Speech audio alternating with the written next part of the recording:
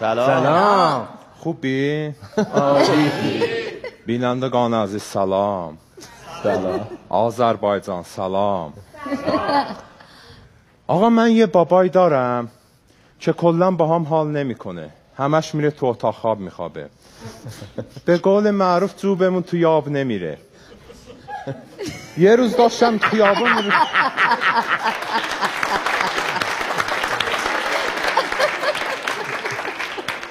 یه روز داشتم تو خیابون را می‌رفتم. جاتونم خالی هوا خیلی دو نفره بود. ولی من تنها بودم. رسیدگی کنید. یهو گوشیم زنگ خورد. یهو گوشیم زنگ خورد برداشتم دیدم بابامه. از این بابا نه ها از اون بابا ها.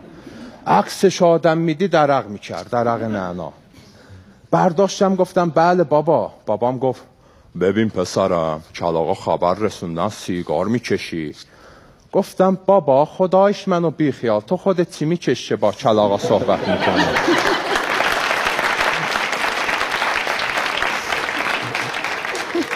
بابام که اینو شنید فکر کنم تشنط کرد. گوشی و قطع کرد. بعد چند لحظه یه اسمس از طرف بابام اومد. می‌خوایم بدونین چی بود؟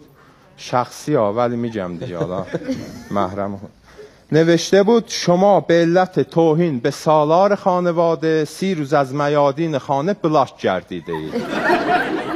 مامانم هم که از این ور پشتیبانی بود اونم منو بلاک کرده بود. همون به قول معروف لست سنت اگوه چیه؟ اون بود؟ لست سند چیز اگو. خب اون بود.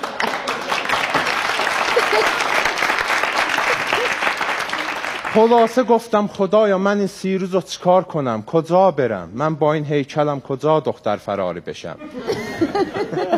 آقا چشتون روز بعد نبینه. تو این سی روز چشیدم آ دردو میگم. یعنی کارم به جایی رسیده بود که با معتاده سر کارتون دعوا می‌کردم. اون کارتون رو می‌کشید می‌گفت مال منه. من میکشیدم می‌گفتم مال منه. اون می‌کشید من میکشیدم اون می‌کشید دیگه من نکشیدم یه دونه گذاشتم در گوشش. گفتم بابا بذار یه شب تو این زوب بخوابیم دیگه. معتاده هم می‌گفت داداش اینجا قلم روی منه. گفتم بابا مگه جمونجی که قلم رو داشته باشی؟ اینجا گوگوریه و جی پی اشتباهی زدن افتاده اینجا. یعنی بابام چه بلاهایی که سرم نیورده تا چهارده سالگی همیشه موهامو باتیق از ته می‌زد. می‌گفت خنک میشی پسرم. بابا چی خنک میشی؟ مگه فالوده شیرازیه که خنک بشی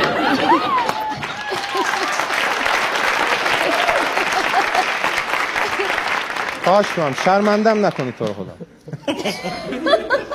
آقا می‌رفت چیز می‌رفت تو آشپزخونه. به مامانم می‌گفت خانم تو این وضعیت هزار تومنم هزار تومنه.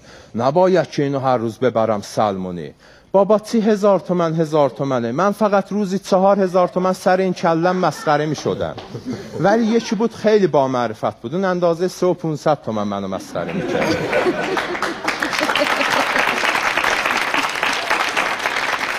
این آدم خیلی دوست داشت به همه تخفیف بده. قدر همچین آدمایی رو بدونید.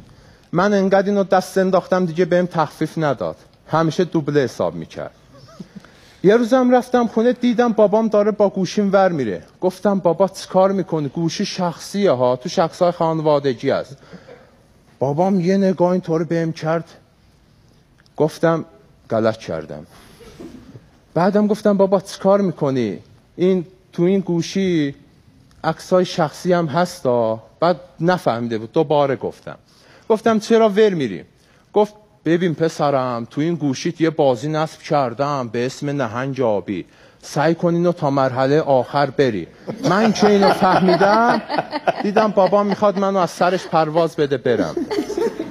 آقا اون شب منم دیگه ناراحت شدم زدم بیرون. شب خیابون خوابیدم صبح که اومدم خونه بابام گفت چرا بوی سیگار میدی؟ گفتم خدایا مچمو گرفت. گفتم چون سیگار کشیدم بابام یه نگاه اینطوری بهم کرد. گفتم چون خستم یه نگاه اینطوری هم بهم کرد. گفتم چون یه نگاه اینطور کرد گفتم چون غلط کردم. بابام بغلم کرد سرمو گذاشتم رو شونش بعد تاخ یه دونه چنازک که تیز هلپ دیدین این بچه پولدارا یه روز ماشین رو میکوبن این ور یه روز ماشین رو میکوبن این ور. یه روزم ماشین رو نمیکوبن. چرا؟ چون باباشون رفته براشون یه ماشین جدید دیگه بخره. اون وقت من یه بار با یه کیلو گوجه اومدم خونه بابام گفت گوجه رو بیار اینجا. آقا بابام نشست از اون یه کیلو گوجه فقط دو کیلو خراب در آورد.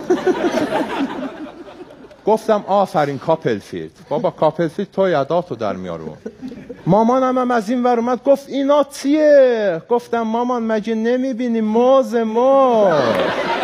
گوجه است دیگه.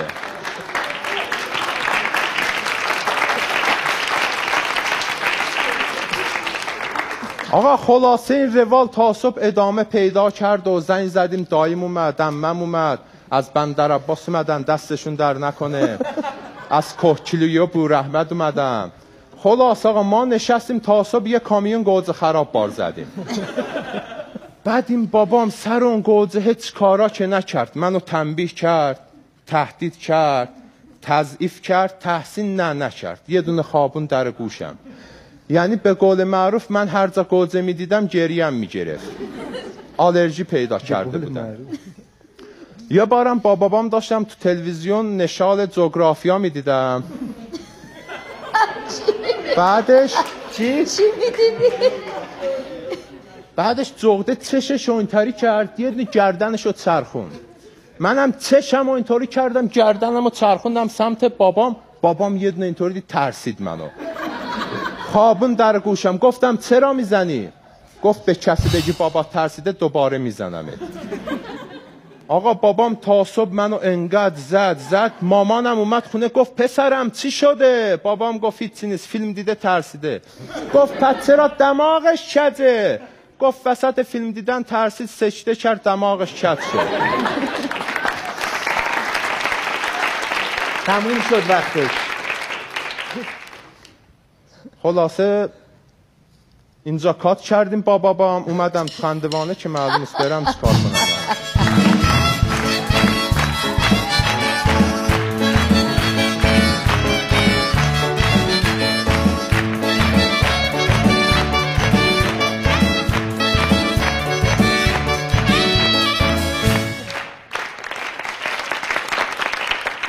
خیلی خوب بود.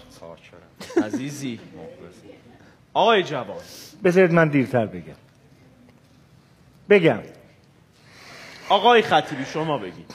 نه بذار آقای جوان بگید فرق کن میگی بگم. خیلی آقای, آیش بگم یه چیزی که من معیار می‌تونم بذارم برای اینکه چه چیزی خوبه یا چه چیزی بده این که وقتی یه چیزی تموم میشه دلت نمی‌خواد تموم بشه. من دلم می‌خواست همینجوری ادامه پیدا بکنه. ممنون از شما. خیلی خوب. رامبو. برای من شبیه تجربه خواب دیدن بود. انگار انگار خوابم. یه چیزایی دارم میشنوم نمی‌دونم اینا چی به هم میچسبن نمیچسبن. یه توهم عجیبی تو همش وجود داشت. یه سیالی عجیب داشت. اینی که دارم میگم به عنوان تعریف دارم میگم.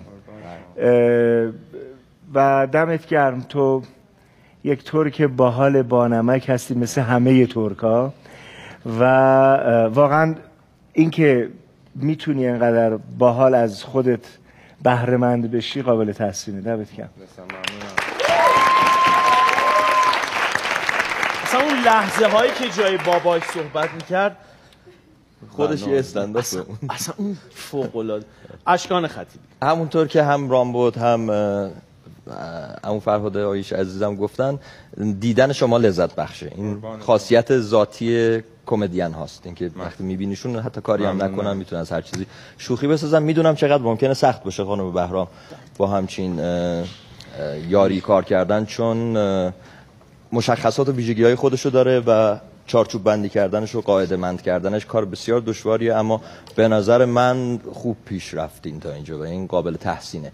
یه یه چیز خیلی دو تا دو تا چیزه. بهت میگم فکر کنم به درد بخوره. یکی اینکه یه جاهایی شوخی های خیلی مهم بالا تو انقدر با لول پایینی میگی چون ویژگی بارز خود اجراته.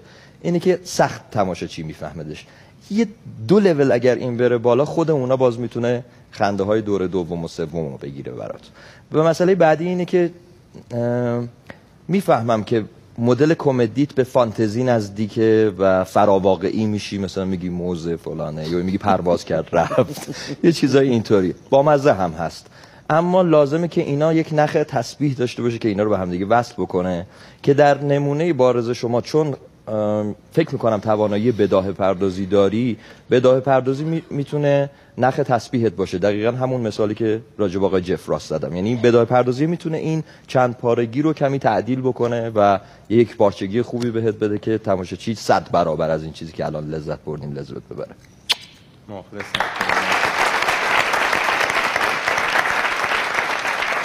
خانم بهرام. ببخشید روزی که روزی که ناصر تو گروه شما افتاد من به خودتون گفتم گفتم کاش این افتاده بود به من. اگه حال هولایی می‌کردی. خوش به حالتون. آره ناصر همونجوری که گفتین کاملا این شیرینی ذاتی رو داره. یعنی جز آدمایی که همینجوری میسته و این لبخندی که ته چهرش هست خودش آدم رو تهیج می‌کنه. منتها بخشی که در واقع مشکل چارچوب بندی کردن ذهن ناصره. یعنی اینکه بذاریش توی قالب بگی این مثلا یه قصه واحد یا هر چی. دیسیپلین. نه اتفاقا سر تمرینا به موقع می اومد و دیسیپلین داره. ذهنش کمی شاید به این دلیله که مدام باید ذهنش ترجمه کنه. چون همیشه با زبان ترکی زندگی کرده. توی این ترجمه و ارتباط برقرار کردنه یه چیزایی از دست میره. مثلا گاهی یه شوخیایی می‌کرد و می‌گفت این تو ترکی خیلی بامزه است. ترجمهش که می‌کنی دیگه بامزه نیست. این خودش یه خورده لطمه زننده می‌شد در طول کار. بعد ما این قصه های خودش و باباش این کتاب اریش اوزر هست نمی‌دونم نویسنده آلمانی من قصه های من و بابام که خیلی معروفه که یه جوری کمیک داستانای مصور تنزه گفتیم به این سمت بریم. یعنی یک مجموعه داستانهای من و بابام داشته باشیم و اتفاقایی که بین ناصر و پدرش میفته رو تبدیلش کنیم حالا به استنداپ ام، اما بعضی وقتا یعنی الان اگه بخوام به عنوان مربی نقد نهایی به تو بدم گاهی اوقات چیزایی هست که دوستان و خانواده ما خیلی بهش میخندن. ولی این الزاما به این بنا نیست که همه رو میخندونه. فکر می‌کنم الان بازخوردی که از تماشاچی گرفتی کم و بیش اینو بهت داد. آدمایی که آدمو می‌شناسن یه کدایی برای خنده دارن که ممکنه تو, تو هر لحظه به تو بخندن. ولی عموم اون کدا رو نمی‌دونن و به خیلی از این لحظه ها نخواهند خندید. الان از اینکه خودتو دیدی در مرحله عمل روی صحنه این می‌تونه درس خوبی باشه برات. اینکه هر هر تنزی و هر شوخی همه رو نخواهد خندوند. روی این باید بیشتر با هم کار کنیم. متشکرم خانم بهرام. اجرای بسیار خوبی از ناصر. دیدیم که فکر می‌کنم نمان اولین اجرا اونم تو مرحله اول خیلی جذاب بود. این چیه؟ این جغده است دیگه. مال نشعال جغرافیاسون نشعال ناصر؟ محبی. اگر رأی شما ناصر محبی است از طریق اپلیکیشن روبیکا سر بزنن اجراها رو هم ببینن و رأی بدن. به افتخار ناصر محبی از اردبیل.